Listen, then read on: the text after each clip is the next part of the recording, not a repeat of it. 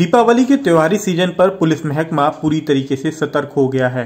अपर police महानिदेशक Bareilly zone ने धनतेरस व दीपावली के त्योहार के मद्देनजर बरेली जोन के समस्त जनपद के प्रभारियों को विशेष सतर्कता बरतने के आदेश दिए हैं। एडीजी बरेली जोन राजकुमार ने कहा कि बरेली जोन के समस्त जनपद के प्रभारी दिनांक 22 अक्टूबर से 27 अक्टूबर तक मनाए जाने वाले धनतेरस नरक चतुर्दशी, छोटी दीपावली, बड़ी दीपावली, गोवर्धन पूजा और भैया दूज के त्योहार पर विशेष सतर्कता अभियान चलाएँ। धनतेरस पर बाजारों में भीड़ उमड़ती है। ऐसे में जेब कटने और छिनौती व महिलाओं के साथ छेड़छाड़ की घटनाओं की रोकथाम के लिए उन्होंने एंटी रोमियो स्क्वाड को जगह जगह चिन्हित करके वहाँ पर तैनात करने के आदेश दिए हैं। इसके साथ ही सराफा बाज़ार में भी पैदल सघन गश्त करने के निर्देश दिए हैं। उन्होंने पटाखों की दुकानों को अस्थायी लाइसेंस देने के संबंध में शासन के आदेशानुसार कार्रवाई करने के निर्देश दिए हैं। उन्होंने पटाखों की दुकान के पास आवश्यक आग से बचाव के उपयोग किए जाने के लिए भी निर्देश दिए हैं। एडीजी ने दीपावली के अगले दिन गोवर्धन पूजा वाले दिन कई स्थानों पर जुलूस जो निकाले जाते हैं, उनमें भी शांति व कानून व्यवस्था को बनाए रखने के लिए उचित पुलिस व्यवस्था किए जाने के निर्देश दिए हैं।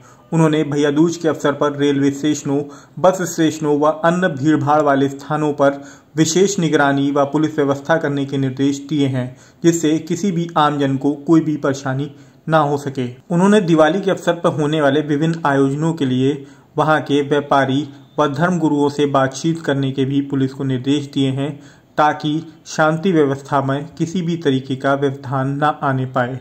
एडीजी ने दीपावली के मद्देनजर रखते हुए प्रमुख बाजारों व अन्य भीड़भाड़ वाले स्थानों पर सीसीटीवी कैमरे व ड्रोन से नज़र रखने के भी निर्देश दिए हैं। बरेली जोन के सभी जनपदों में त्यौहार साकुशल संपन्न हो, इसके लिए पूरे जोन में चौदह कंपनी व डेढ़ सेक्शन पीएसी का बल अतिरिक्त लगाया गया है।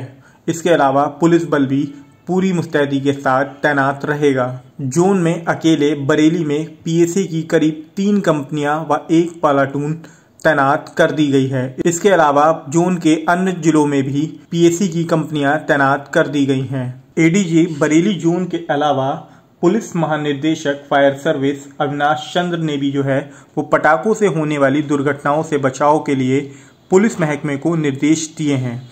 सुनिए उन्होंने क्या कहा। जय हिंद, मैं Avinash Chandra, DG fire service, Uttar Pradesh बोल रहा हूँ। दिवाली की खुशी के पर्व पर मैं आप सभी प्रदेशवासियों को ढेर सारी बधाई देता हूँ, शुभकामनाएँ देता हूँ। दिवाली का पर्व पूरे हर्षोल्लास के साथ मनाया जाता है, लेकिन कभी कभी दुर्घटनाओं की वजह से बड़ी बड़ी ट्रेजिडीज हो जाती हैं।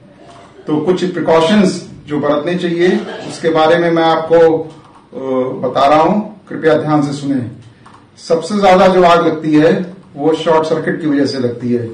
और दिवाली के अवसर पर, हर घर में, हर प्रतिष्ठान में, हर दुकान पर टेम्परेरी कनेक्शन लेकर के झालर लगाई जाती है, लाइटिंग लगाई जाती है।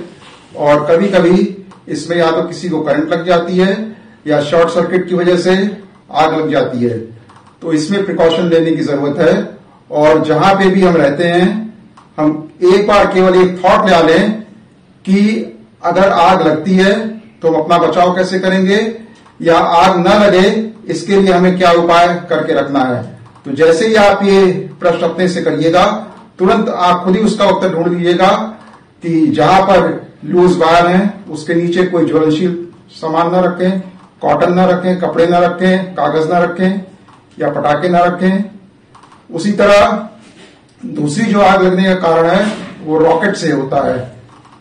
जो ऊपर जाते हैं और फिर कहीं गिरते हैं इधर उधर और वो अगर झुकी झोपड़ियों पर गिर पड़े या किसी ज्वलनशील पदार्थ पर गिर पड़े, उससे आग लग जाती है। फिर दिया या अगरबत्ती या मोमबत्ती लोग जला करके छोड़ देते हैं, बाहर चले जाते हैं, उसकी वजह से आग लगती है। तो इस सब के विषय में अगर हम लोग प्रिकॉशन लेंगे तो निश्चित तौर पे दिवाली हमारी अच्छी बनेगी। अगला अब हम आते हैं वो पटाखों के ऊपर। जो लोग विस्फोटक से पटाखे बनाते हैं आई है कि वो लोग एडिकेट प्रिकॉशन बरतते हैं, जो केमिकल्स उनको अलग अलग पीस करके मिक्सअप करना चाहिए, उसको एक साथ मिला करके पीसते हैं और उसकी वजह से उसमें चिंगारी कभी कभी पैदा होती है, भयंकर विस्फोट होकर के जान माल की हानि होती है। तो जो लोग पटाखों के विस्फोटकों का की हैंडलिंग करते हैं, उसको विशेष तौर पे ध्यान देना चाहिए। फिर इनका भंडारण, ये बहुत इंपॉर्टेंट है, जहाँ पे इसका भंडारण किया जाए, वहाँ पर एडिक्वेट प्रिकॉशन बरते जाए। विस्फोटक अधिनियम में बहुत सारे प्रिकॉशंस बताए गए हैं, उसको ध्यान देने की ज़रूरत है। फिर इनका ट्रांसपोर्टेशन जब हम इनका ट्रांसपोर्टेशन करते हैं, वो भी एक प्रिकॉशन के साथ हमें करना चाहिए।